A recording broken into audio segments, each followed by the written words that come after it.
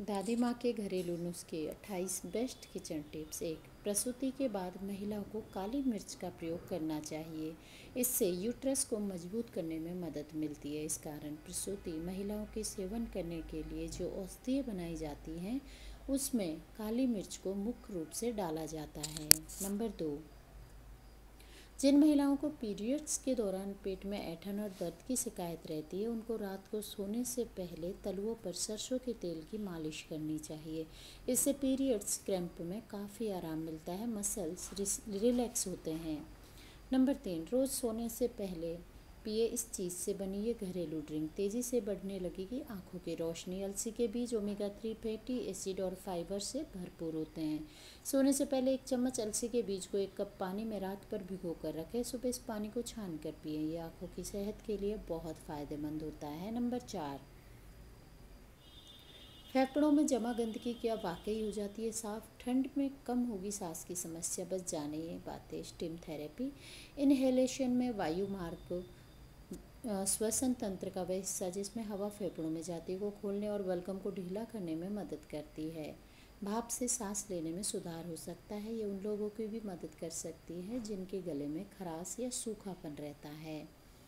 Number पाँच, चेहरे पर बर्फ़ लगाने से अगर आपकी स्किन बहुत अधिक संवेदनशील है तो चेहरे में बर्फ़ का इस्तेमाल करने से चेहरे से एलर्जी की समस्या समाप्त हो जाती है। स्किन में होने वाली रेडनेस की समस्या को भी ख़त्म किया जा सकता है। छः रोज़ाना गुड़ खाना खाना खाने के बाद गुड़ खाने से पाचन तंत्र मज़बूत होता है। ये गैस, ब्लोटिंग बदहजमी जैसी समस्याओं से राहत दिलाता है। नंबर सात ना ओट्स का सेवन करने से वज़न नियंत्रित रहता है। इसमें फाइबर की मात्रा बहुत अधिक पाई जाती है, जिससे पेट भरा रहता है और भूख भी नहीं लगती है। नंबर आठ। रोज़ाना बैठकर झाड़ू पोछा करने से पूरी बॉडी की एक्सरसाइज हो जाती है, जिससे वज़न कम करने में आसानी होती है। नंबर नौ। हिलते हुए दांतों पर अदरक का पेस्ट लगाने से दांत मज़बूत हो जाते हैं। नंबर दस। बासी मूंग गाजर खाने से आँखों की रोशनी तेज होती है और चेहरे पर ग्लो आता है। नंबर ग्यारह। बार बार डकार आने की समस्या है तो आप इमली के पत्तों को चबाएँ, इससे ये समस्या दूर होगी।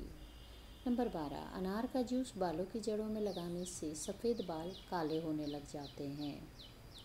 नंबर तेरह, जो औरतें दूध में खसखस डालकर पीती हैं, उनको कभी भी कमर दर्द की दिक्कत नहीं होती है।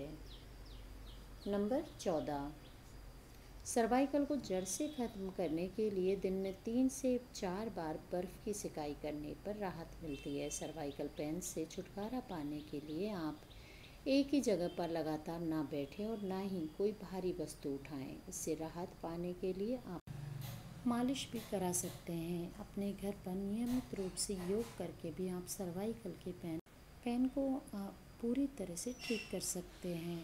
हो सके तो रेस्ट ज़्यादा करें। रोज़ाना एक ग्लास गर्म दूध में आधा चम्मच हल्दी पाउडर मिलाकर पीने से सर्वाइकल से राहत मिल सकती है। सही ढंग से सोएँ। अक्सर मुलायम ऊँचे गद्दे और तकिए पर हम सोना पसंद करते हैं। ये सर्वाइकल पेन का कारण हो सकता है, इसलिए सख्त गद्दे का ही प्रयोग हमेशा प्रयोग करें, ऊँची तकिए से दुश्मनी कर लें, बेहतर है अपना सिर ज़मीन के तल पर रखकर सोने की आदत डालें या ज़्यादा से ज़्यादा पीठ को 15 डिग्री तक मोड़ने वाले तकियों का प्रयोग करें। पेट के बल ना सोए, ये गर्दन को फैलाता है। पेट के बल या करवट लेकर सोएँ, इससे आँखों दर्द से राहत पाने में मदद मिलती है। नंबर पंद्रह, रोज़ाना आंवला कैंडी खाने से पेट की चर्बी कम होने लग जाती है। नंबर सोलह। कुछ भी याद करने से पहले जीरा खा लेना चाहिए। इससे याददाश्त अच्छी होती है। नंबर सत्रह। पकी जामुन खाने से पथरी की समस्या दूर हो जाती है। नंबर अठारह। रस्सी कूदना एक कार कार्डियो एक्सरसाइज है। रस्सी कूदते समय हमारा ज़्यादातर वज़न घुटनों पर पड़ता है, इसलिए इस एक्सरसाइज से घुटने मज़बूत होते हैं और वज़न भी कम होता है। नंबर उन्नीस, दिन दिन में एक बार चावल के पानी से चेहरा ज़रूर धोना चाहिए। इससे चेहरे का रंग साफ़ होता है। नंबर बीस, पका हुआ अमरूद खाने से शरीर में हीमोग्लोबिन की कमी नहीं होती है।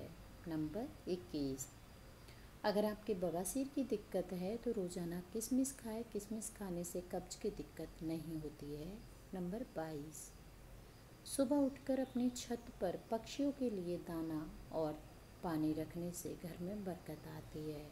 नंबर तेईस। नारियल का दूध माथे पर लगाने से बाल मज़बूत होते हैं। नंबर चौबीस। आलू के रस में दूध मिलाकर चेहरे पर लगाने से चेहरे की रंगत साफ़ होती है और चेहरा नर्म मुलायम बनता है।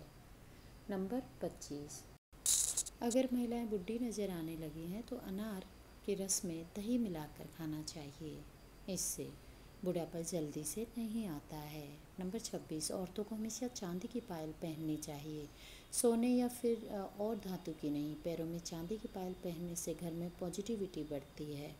नंबर सत्ताईस, रोज़ाना एक का, केला खाने से गुस्सा, चिड़चिड़ापन दूर रहता है। नंबर अट्ठाईस, पैरों में शरीर में दर्द होने पर गुनगुने पानी से नहा लें। हमारी ये वीडियो आपको कैसी लगी ज़रूर बताएँ। अगर अच्छी लगी हो, वीडियो को लाइक शेयर कर दीजिए, चैनल को सब्सक्राइब कर लीजिए, जो बेल आइकन है उसको प्रेस कर दीजिए। धन्यवाद।